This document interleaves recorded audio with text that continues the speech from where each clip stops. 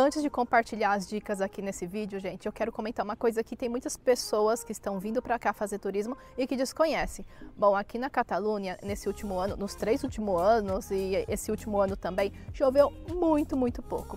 Isso significa que os reservatórios de água estão praticamente no mínimo. E para garantir ah, o abastecimento de águas nas casas das famílias, eles optaram por ah, deixar de, ah, de, regar todos os jardins da cidade e, inclusive, não encher as fontes eh, ornamentais da cidade. Isso significa que a fonte mágica do Montjuic não está funcionando, gente. Todas as fontes ao redor do palácio não estão funcionando, inclusive a fonte da Praça Catalunha, algumas outras fontes ornamentais distribuídas por alguns pontos turísticos e, lamentavelmente, gente, sem previsão de quando eles voltarão a encher e começar a fazer né, o evento da Fonte Mágica, né, que faziam aquele espetáculo noturno que era super, super bonito. É, recentemente eu estive lá no Palácio do Montjuic e a fonte, inclusive, ela estava cercada toda com uma tela, não sei se eles estavam fazendo alguma obra, alguma reforma, e nem para vela vazia tá dando, viu? Ah, eu não sei agora, esses dias aqui eu não passei por lá, é, não tem previsão, viu, gente, de quando vai funcionar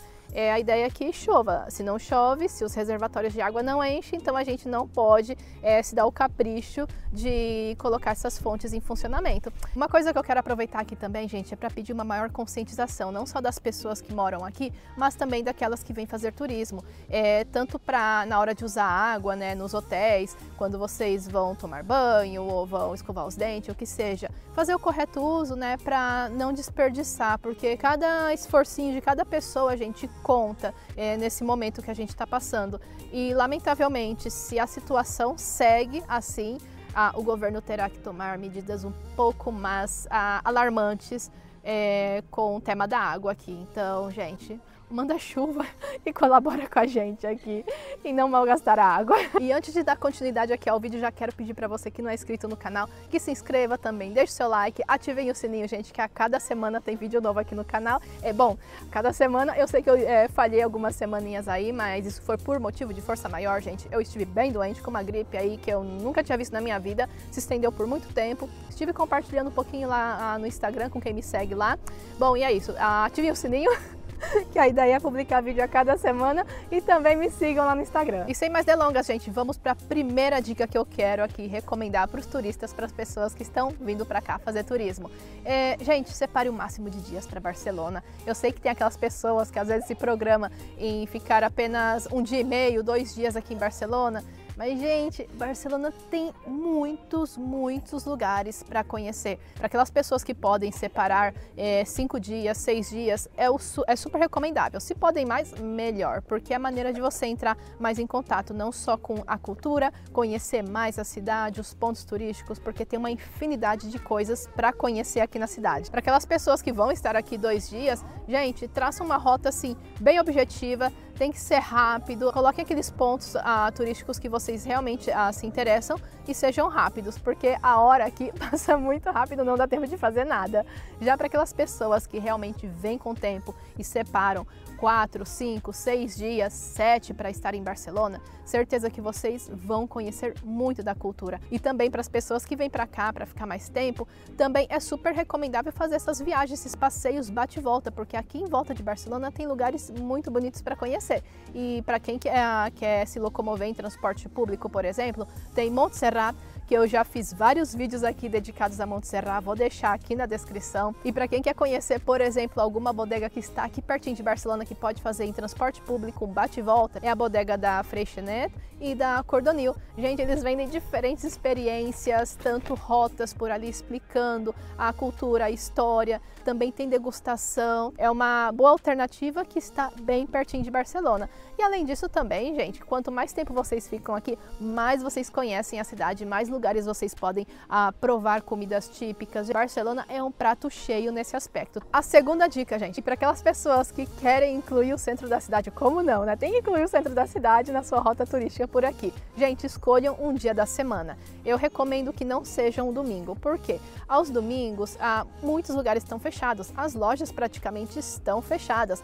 É, o que vocês vão encontrar abertos serão lojinhas de souvenir e aqueles comércios mais ah, focados ao turista, né? Então É, lojas de roupa estão fechadas, tanto no Passeio de Graça quanto é, no Portal de L'Angel, ou também no centro, todo ali pelo bairro Gótico. Então, fica, dependendo do horário, fica um pouquinho morto. Mas para quem consegue colocar a sua visita para um dia da semana, certeza que vão gostar muito, porque tem muitas lojas de coisas muito diferentes. É um lugar super, super gostoso, é um prato cheio para os turistas conhecerem lugares diferentes também, provar gastronomia, provar bares de tapas. Ah, e detalhe também, gente, antes que eu me esqueça, a boqueria, o mercado da boqueria está fechado aos domingos. E nas Ramblas é mais para ver assim lojinhas focadas ao turistas e pouco mais, viu, gente? Bom, e a minha recomendação, né, por um domingo para quem estiver aqui, é visitar os pontos turísticos como o Parque Güell, é, a Casa Batlló, é, a Casa Milá, Sagrada Família, esses pontos turísticos que eles estão sempre abertos. Então acredito assim que traçar a sua rota é, focada a esses pontos, acho que vai ser muito mais ah, interessante e vocês vão aproveitar muito mais o passeio. Os museus daqui no primeiro domingo do mês têm portas abertas, por exemplo, o Museu Marítimo, que ele é bem interessante, está perto do, ah, tá bem no Porto Velho de Barcelona. Também o Museu de História de Barcelona tem portas abertas também nos domingos. Ele fica bem no bairro Gótico, bem na Praça del Que é uma das praças assim super antigas, assim que eu sou super super apaixonada, super recomendo passear por lá. Também o Museu Etnológico de Culturas do Mundo e o Museu Nacional de Artes da Catalunha, que fica bem no Palácio Nacional de Montjuic, eles também têm portas abertas a cada primeiro domingo do mês. Terceira dica, gente, e essa é muito importante para aquelas pessoas que querem visitar os pontos turísticos como a Sagrada Família, a Casa Batlló, a Casa Milá, o Parque Güell principalmente, gente.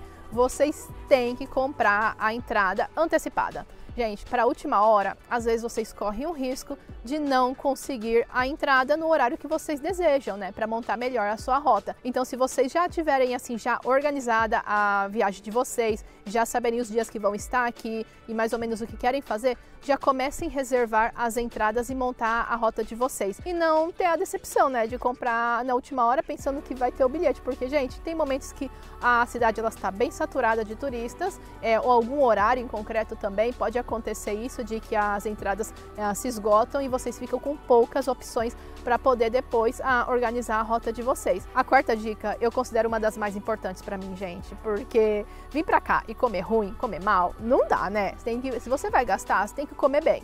Então, evitem, evitem comprar comidas ou fazer a sua parada para comer alguma refeição nas ramblas. Gente, não caiam nesse golpe, porque ali eles fazem comida para turista. É comida congelada, é uma comida que não tem não tem nada a ver com o, a gastronomia daqui, né? O que realmente é a comida a, típica daqui.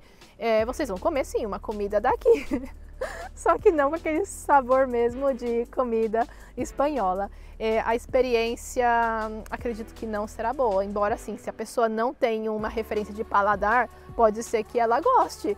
É, eu não vou questionar isso, né? Tem pessoas que gostam, mas para nós que estamos acostumados já aqui, nós sabemos quando uma comida está bem feita ou não, né? Uma comida típica daqui. Então, assim, eu não recomendo nem nos bares que estão ali ao redor é, das ramblas, evitem, gente, porque está realmente focado ao turista. Você vai pagar caro e não vai ter uma boa experiência. Vou aproveitar para deixar algumas dicas para vocês que estão vindo para cá e quiserem, por exemplo, comer paella. Super recomendo a paella de sul. Gente, muito boa. Já mostrei aqui no canal. Eu vou deixar aqui embaixo na descrição é, todos os lugares que eu já visitei e estou citando aqui nesse vídeo. Então, super recomendo a paella deles, que é muito boa. Eles oferecem tanto paellas com peixes, mariscos, também para quem não gosta de peixe marisco, eles têm outra opção de carnes também, que estão super boas.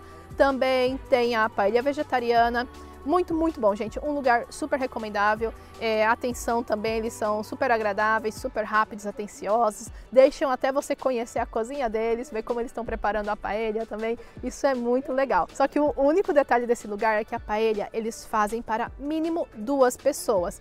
Então, assim, duas pessoas. Ai, mosquito, sai.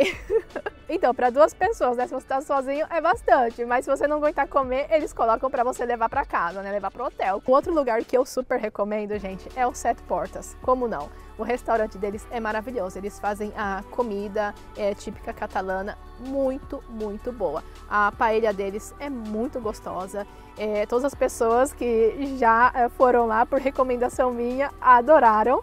É, super recomendo porque para mim, gente, realmente é uma das melhores paellas é, de Barcelona. Bom, tem vários outros lugares, viu, gente? Tô ah, dando uma pincelada aqui dos lugares assim que eu gosto, mas é possível, ah, mas possivelmente vocês encontrarão também outros lugares. Também a La Barra de Sete Portas, eles oferecem também uma paella muito, muito boa, muito gostosa, que é feita na sua própria cozinha, só que é oferecida no seu bar e ela é um pouco mais econômica, mas também tá uma delícia. Um outro lugar assim que eu recomendo para aquelas pessoas, por exemplo, que não gostam de peixes, marisco, é o Honest Greens. É, é uma franquia que está espalhada por Barcelona, também tem Madrid, em outras cidades também.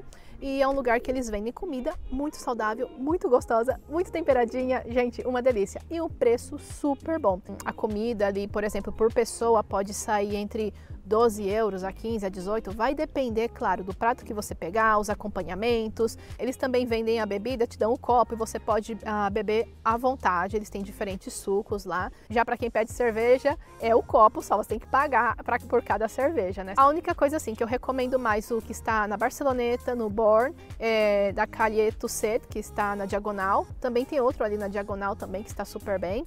É, o da Praça Catalunha, gente, para quem for lá, claro, está bem ao lado da Praça Catalunha, só que está sempre lotado no horário de pico, o horário de pico que seria é, horário de almoço. Então, se vocês querem comer ali, estar mais tranquilos, vão cedo, vão tipo assim, meio-dia, meio-dia e meio, porque a partir da uma, duas da tarde, gente, são filas. E às vezes assim, eles oferecem assim, tudo vai fazendo tão rápido que às vezes até você ser servido, assim, eu já tive essa experiência, tá? Do prato vinha um pouquinho frio. Mas ainda assim, dá super gostoso. É, e de tarde, assim, princípio da tarde também, tá bem tranquilo. O detalhe mesmo é no horário do almoço que lota, porque eles vendem preço bom e comida boa e muito, muito gostoso. O ambiente também é gostoso, é agradável. Um dos bares de tapas que eu sempre recomendo, porque, gente, não tem erro, é um dos meus favoritos. Claro, tem vários por Barcelona, mas eu sei que esse não tem erro. É o local chamado Vinitos, que está na Calle Conselho de Centro. Eles vendem diferentes tapas, gente. O serviço assim é super bom. É, Para você comer durante o dia, né, no almoço, está super bem. É, é, rápido o atendimento. Já se você vai, por exemplo, no horário do jantar, né, já a partir das 8 da noite, 8 e meia, 9, aí geralmente tem muita fila. Então, aí é um pouquinho desagradável, né? Às vezes tem que esperar entre 40 minutos, 50 a uma hora. Então, se você vai comer a fim de tarde, aconselho assim, entre 6 e meia, 7 da tarde, que ainda vocês podem sentar tranquilos e não ter aquela fila de espera. Mas assim, é um lugar super recomendável. Um outro lugar também que eu recomendo é a Ciudad Condal, que é do mesmo grupo. Também vendem tapas muito gostosas. É um lugar assim também grande, que está é, pertinho do centro ali de Barcelona. Já se vocês querem subir um pouco mais de nível aqui na experiência gastronômica provando as tapas eh, por Barcelona, gente, não tem erro. É o Bar Canhete. Gente, que lugar! E está bem no centro de Barcelona. É, você descendo ali pela Rambla, é, acho que tá, bom, tá entrando no bairro do Raval, mas é uma bem no pedacinho, bem no começo. É um lugar super tranquilo, super movimentado, mas nesse lugar aqui, gente, vocês têm que reservar com antecedência, porque lota é um dos melhores lugares de tapas do centro da cidade, onde vocês vão ter experiências maravilhosas provando as diferentes tapas deles. Começou a tocar aqui o sino, vou dar uma esperadinha aqui para dar continuidade. Um outro lugar também de tapas que eu recomendo, que eu gosto particularmente, gente, é o local chamado Petit Tapas. Também está no centro da cidade, está bem no gótico, é, pertinho da Barceloneta. É, gente, é um lugar assim que é um ambiente super agradável, a comida muito boa. Eles geralmente oferecem pratos com produtos de temporada, então às vezes você pode, é, num mês eles estão ah, oferecendo uns pratos, dentro de dois meses ou três são outros, mas são todos muito gostosos, muito caprichados. As bebidas também estão maravilhosas, os coquetéis também. E o atendimento, assim, gente, de maravilha, super recomendo esse. Mas também tem que reservar, porque é um lugar também que lota bastante. E por último também, que eu acredito que não não tem erro é na cervejaria Moritz, que eu já mostrei aqui no canal também, vou deixar aqui na descrição, gente. É, é um dos lugares que eu gosto também para tomar uma boa cerveja. Eles vendem diferentes cervejas ali, se você quiser também fazer cata de cervejas e aproveitar também e provar as tapas que eles oferecem lá também, gente. Eu acredito que é um lugar muito gostoso é, que está bem no centro de Barcelona, está perto da Praça Catalunha. Aqui eu praticamente dei uma pincelada em alguns lugares, gente. É que se vocês passearem pelo centro de Barcelona, vocês vão encontrar muitos, muitos lugares para comer, para provar tapas. Esses são alguns, só para vocês terem um pouquinho de ideia, para quem estiver perdidinho, ainda não sabe por onde, vai aí, gente, nesses lugares que eu estou recomendando que não tem erro. E a última dica aqui, gente, não é porque a última é menos importante, gente. Bom, para mim é muito importante isso. Eu gosto de viajar e desfrutar e me sentir bem, me sentir cômoda. É, gente, se vocês puderem, evitem a viajar para Espanha no mês de junho, julho e agosto. Principalmente se vocês vão estar mais aqui na parte, bom, da Catalunha para baixo, né, sul. Gente, faz muito, muito calor.